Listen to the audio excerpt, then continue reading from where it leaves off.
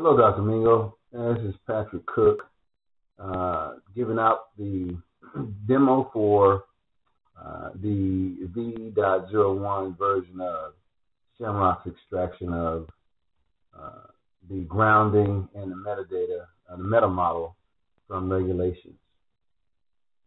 So I created a few different um, uh, Python modules here, and I'll kind of walk through them real quick uh, kind of give you some context, and then I'll I'll play it and, and do a quick demonstration. But uh, the first um, Python module here is is where I actually pull in the regulation in this method called SHAMROQ, and it takes a regular a regulation list.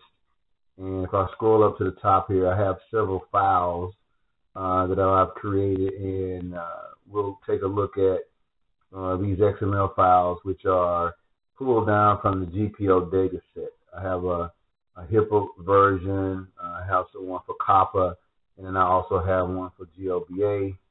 And the one that I'll demonstrate here is uh, XML 45164 which is the HIPAA version of it right here.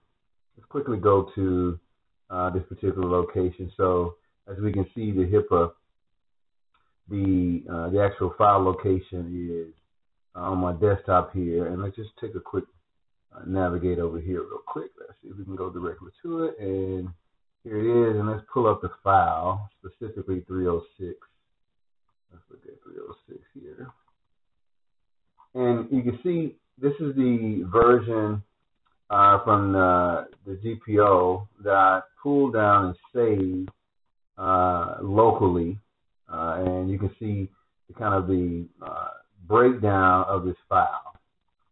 Uh, and it has these uh, stanzas in here to, to include some uh, some metadata. They include the heading, a little bit about the, the history here, uh, the ancestors it's called uh, in the file, as well as the actual provisions uh, for this particular section, which is 160 CFR 164.306. And each one of these provisions are captured in here. And so what I do is I take this particular XML file uh, and on the desk, and I read it in in a uh, in a method called scan. Let me just go back to scan here. And scan, I, I see if, you, if we go back to the init file here, we'll see that uh, I call Sh SHAMROQ regulation list here it's initialized uh, up here from this particular variable here. And this particular uh, variable is a list that's captured from this particular, which is a file prefix of HIPAA, which is this particular location here on my desktop, plus the actual file name uh, right here. So I take that in as a particular list. Right now it's just a list of one, but it pulls it in uh, here and, and it is called into this method this method is actually taken over uh, and given to this method called SHAMROQ. SHAMROQ takes a list of regulations and it takes uh, goes through the regulations in a for loop and it takes the regulation and loop through there. And the first thing I call is this uh, method called scan.init, which is uh, it is it actually reads the file in. So um, as I was saying here, that uh, you take SHAMROQ in, take this list of regulations in, and I call uh, scan.init. So let's hop over to scan.init. And so scan.init, this is the init method in the scan uh, scan uh, uh, uh, file here. And it just prints out starting the scan. And it reads in this XML file. Here's a read in XML file. And it just takes this uh, XML file and it uses this this method, this element tree to read that file in and then create this tree of the XML file. And then what it returns is the root node of that XML file, and it returns it back to the init. And then now I have this this root node here, and again, I kind of describe it here. It takes a, a regulation here, which is a string of an XML file, and it returns a tree type. And then once I return a tree type, what I do is then I process or I take this file through a preprocessor. And so I have this preprocessor file here, and then I'll, I'll take it through that. And so the preprocessor uh, takes in, and here's the preprocessor.init, and it starts the preprocessor, uh, and it takes this, uh, and then it ends up getting this result from this process and this data. And so I pass it in the, the root node and the regulation as a string so it can kind of print print out where that file was um, when it, did that. So here's process node. It takes the the regulation, uh, puts it into a dictionary. It takes that regulation and it writes that out, that string out uh, for this particular regulation, and it goes in and, and it does this recursively to get the the the to get the text from the node. So it reads that XML file one line by line, and it stores it into uh, this dictionary. And so as we you see here, it calls this get text, and here's what get text does, and it just does uh, it reads through each one of those files, and it it strips down all the par it, it reads the paragraph tags, and then once it reads the paragraph tags, what it does is it creates this text uh, joining these uh, strings together, uh, and then prints it out and stores it as well. And as if we do find a par- uh, paragraph tag, what I did was was put a uh, a unique identifier in uh, in that particular for that statement because I was putting it into a dictionary because it needs to be a key value pair, and I wanted to make sure that I had the text and I had something that was unique that I can pull from and I would use some, at some point later. And if it didn't not have anything there, uh, I would put out none in the inner text, and I would continue the process. And so it returns back to the initialization here, and once I pre-process it, I take it through this process where I call clean results, and let's take it over to clean. And once we look at clean, you see it goes through also an initialization process here, and it calls this method called sanitize. If I take a look at sanitize, it takes that uh, that dictionary in and it actually starts to put in uh, this metadata. So it'll take it out the uh, CF title that was in the original XML file. It takes this CFR title here. Uh, let's go back to clean. Uh, it takes the section number. It takes the then it, it concatenates or it adds together the CFR and the section number and then I actually um, put some metadata in the file that I could use for processing that's a part of SHAMROQ. Then I take the headers uh, from that from that file and I put I put it into this this dictionary. So I separate now this JSON result into a metadata section and then a header section, and then the body is just the content of the regulations uh, that I'll have here put into this area content and then it returns back uh, back to init here, and this is where I go through the classification, and this is where I stop. And we'll look at the classification metadata here, meta model, and then here is where uh, I, I, I do the part where I talked about the grounding uh, and the meta model. And so in, in order for me to read line by line each regulation, uh, what I did was I created this. Uh, here's this meta model, and so I pull this dictionary in, uh, and now I have the meta model, and then I go out and print each each provision line by line, and that's what you'll see.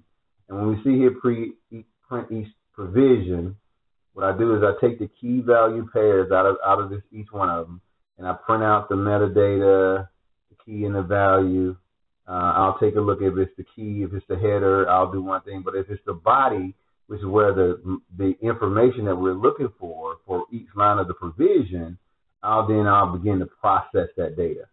And so now I'll take this particular text out of the pro value and I'll print the text. And you'll see the text being printed. And then I'll take a, a, moment to kind of break so you can see it. And then uh, I'll classify with this matcher. And so here's where I use uh, spaCy as a as a as a component to be able to read uh, the specific um, part of speech tags. I'll read the uh, the dependency graph. I'll read the information so I can match what a particular phrase is or a particular token within within the actual provision. So each each statement is broken down into a and I'll kind of walk through that as as I begin to demo. So I want to kind of go over kind of a high level uh, what each step was doing, and then we'll and I'll show the can show the demo. So let me let me stop here and let me go to where I can show the demo. Okay, I'm about to run the actual code here. Let me just start it here. Uh, it may go too fast. Uh, I'm to maybe increase the timer a little bit so we can see.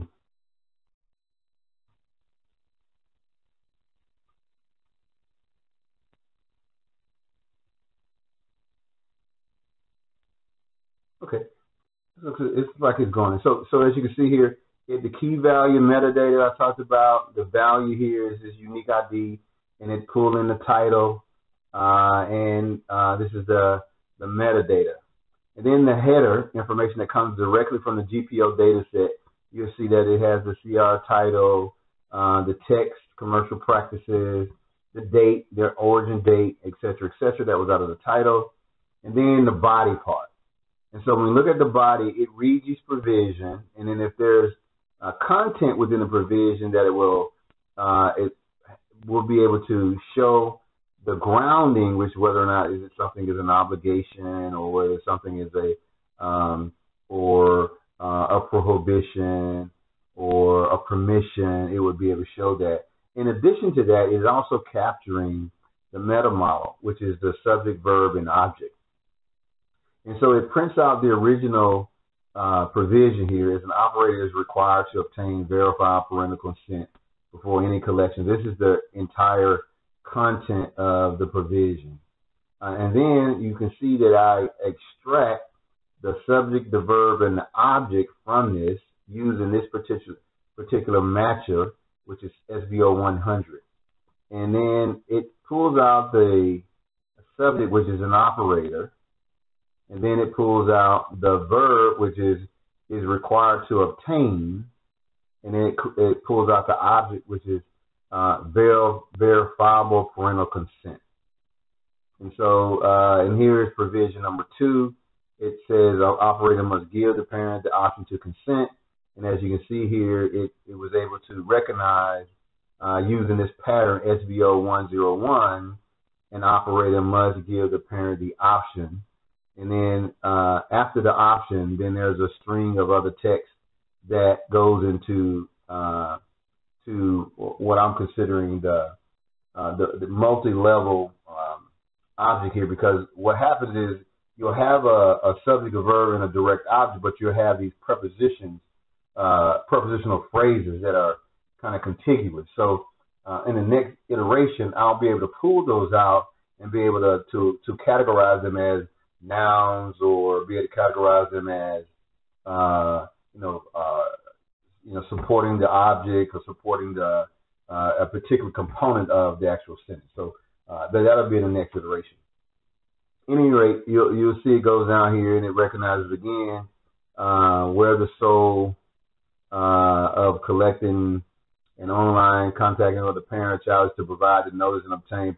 Uh, it goes if the operator has not obtained parental consent and then it, it, it says for after a reasonable time from the date of the information, the operator must delete such information. And you see it captured here, recognizing this pattern SVO01, the operator must delete such information. So it goes on and, and, and recognize those areas throughout the provision, and I put in how it's captured in the time after it's uh, finished and then once it starts.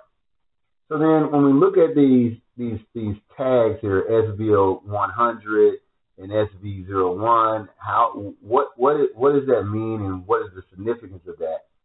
When I take a look at uh, these uh, these matchers that I have here, here's SV001.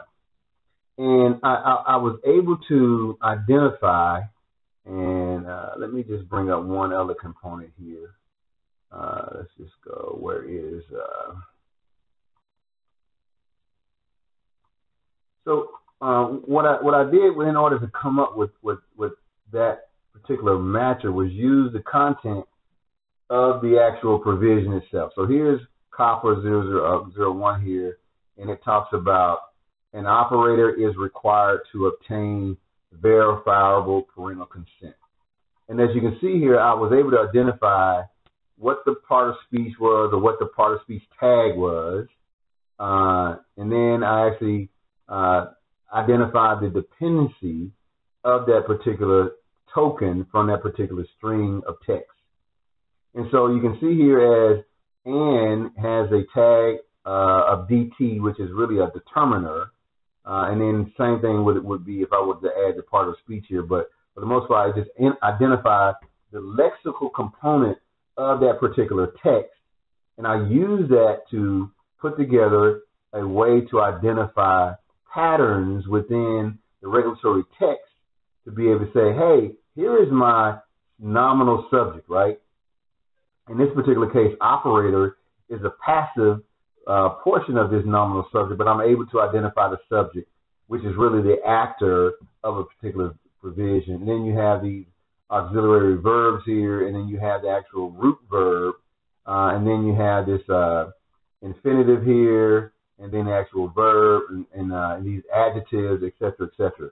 And so once I was able to identify these particular tags and dependencies components in here, and I was able to create a pattern from the text to be able to use that to say, now when you see this string of tokens and operator or uh, whatever the tokens are, you will be able to identify this as the subject, the verb, and the object of a particular provision.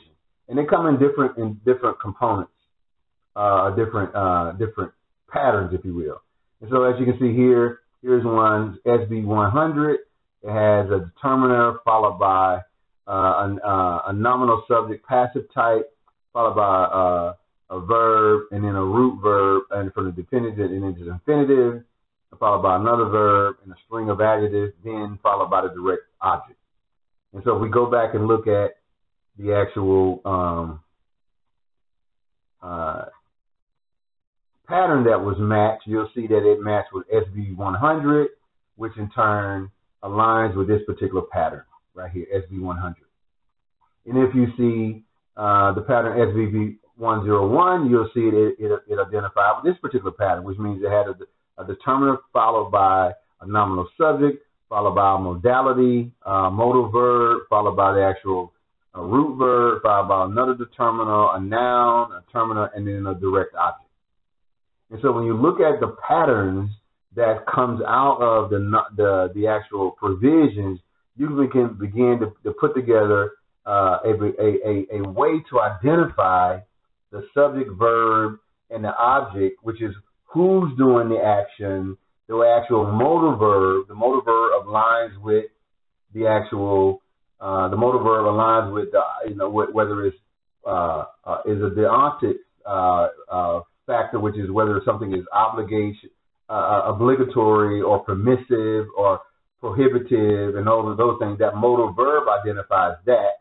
And then the action is the root verb that, that follows the modal verb. And then the direct object, the direct object is who's the actual uh, option, uh, the action is taking place on. And so that is the foundation of finding uh, all of the, the, the, the components from the provision and and then quite naturally there are other parts of this particular uh, provision, right? There there's these there's these uh, uh, these uh, propositional phrases that add more context to the actual statement that that's being that's being acted upon acted upon in each provision. So to kind of go back and a quick summary here, I have um, in the init, I actually read in the XML file. The XML file puts this into a, a root tree. I parse the tree and I create uh, a, a, a, a, Python dictionary with a set of key value pairs. The key, and, and, and within the key value pairs, I, I divided into three sections. One section is uh, the actual metadata. And the metadata can be extended to talk about, uh, you know, when, whatever that's required uh, for a particular uh, domain of the provision, but you have the metadata here, and I included in the metadata some unique ID, uh, some category that it may be associated with it, in the actual title, uh, a priority if you need, you know, a priority in the degree of necessity, and I'll, I'll add a little bit more explanation around how this can be uh, expounded on. And then the second part is actual header. This header is taken directly from the actual CFR. So you can make a direct correlation between the provision that we're talking about and the actual uh, content of the provision so that can, can uh, support the traceability. And then next is the actual line by line provision. We take that out of the XML and we review line by line each provision and we make sure that we capture them uh, line by line. So A, general requirements really didn't have any modal verbs, any sentences associated with it, with just a header. But as soon as we get to the body part uh, that talks about a provision on what something must be done or what something or you're permitted to do, we take a look at that and we begin to look at the grounding and we begin to look at the uh, the meta model. And the meta model is really broken down into uh, you know the who's doing what, uh, the actual action that's taking place, and the modality associated with that. And we capture that uh, as the as a foundational element of what this particular provision is talking about. And in this particular case, we look at this: our operator is required to obtain this uh, parental consent. We know that the an operator is the actual uh, actor, and then it's required is really the the, the modality here, which really means must. Uh, means that the operator is obligated, and then obligated to do what? Really to obtain parental consent. And so quite naturally, there's other components of here on why and, and the purpose of this. And so here is a temporal element that that we haven't included yet, but we will. But as again, I talked about these prepositional phrases, they add more context. And we look at this particular uh, prepar- uh, prepositional phrase here. This is before, and it gives you a temporal aspect. So, in, in, in meaning that if we're going to be required to get this consent, these are some of the things that we must do first, right? Before you can do, before you can collect, or before you can use, or before you can disclose personal information from children, you must get this consent. So this is before prepositional phrase add additional context, and that will have to be in the next iteration uh, of, of this particular element because we are able to identify the modality, we're able to extract information from the actual regulation. We're able to take each line and interrogate each line to find out what this provision is all about in isolation. And even when there have uh, multiple sentences in there, and we can break those down into into uh, one or two sentences to really get the the, the main idea out of each provision. And so that that's pretty much uh, wraps it up. And hope you and, and I try to make this as short as possible. Um, but there's a lot of information here, uh, and I'll review it and I'll try to condense it a little bit more. But I did want to get this out in front of you. You see that I actually have a uh, the first uh, V.01 version of extracting requirements from these regulations, specifically from the GPO data set, using the XML file directly coming from the GPO uh, website, saving it off as a file, and then running it through this particular uh, uh, uh, application, extracting the information from the application, and identifying the pertinent elements uh, of this. Now, there's still some work to be done here, and primarily associated with the prepositional phrases that add more context, and then um, having it being in a conditional, so you can actually put, place it into um, the uh, either SWRL or some rule format. The ultimate rule format that we're going to use is going to be LegalRuleML.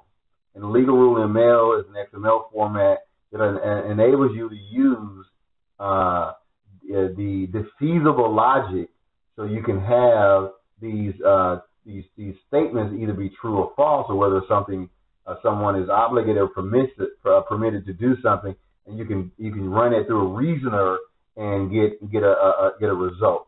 And because it's defeasible, if some new information comes in, you can update it with that new information, and you can get the, the, the latest result from that. So I'll stop there, and then um, and I'll and I'll, I'll send this to you, and then we can talk about uh, what I've what I've come to uh, come up with so far. Thank you.